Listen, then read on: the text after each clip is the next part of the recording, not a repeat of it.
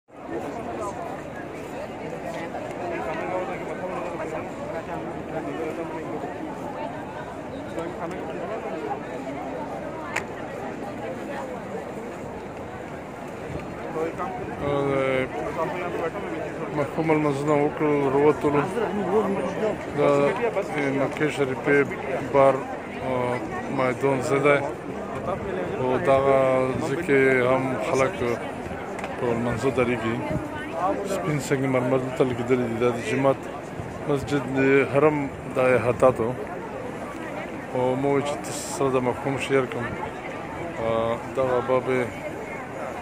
باب فاتح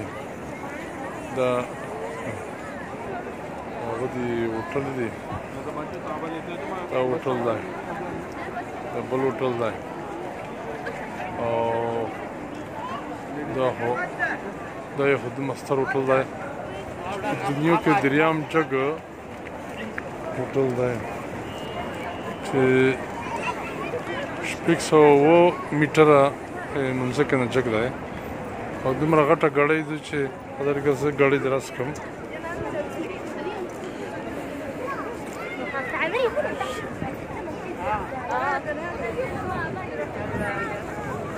ګړۍ نه لیدل کېږي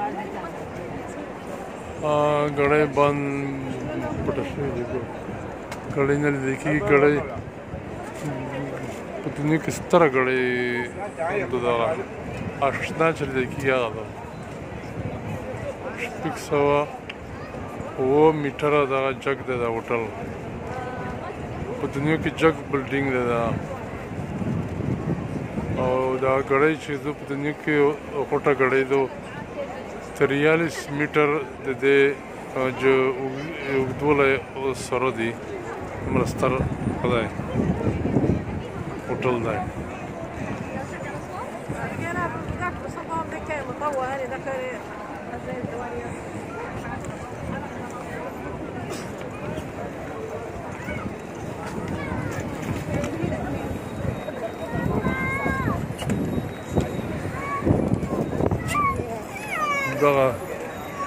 د مسجد حرم بهدیا صحنه ده بهدیا خلک له مخمل مزه بدر وتل اوس په مړۍ خوري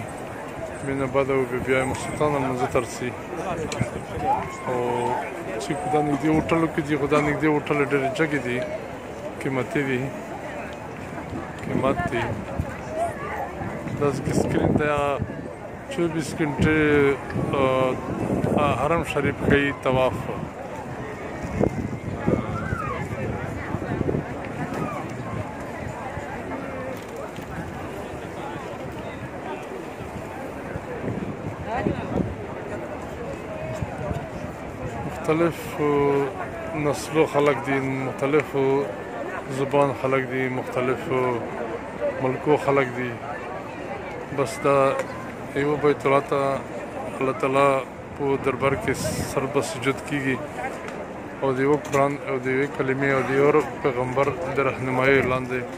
د الله تعالی عبادت کې موږ چې کوم عبادت معمولی دی الله تعالی دې قبول منظور وګرځوي او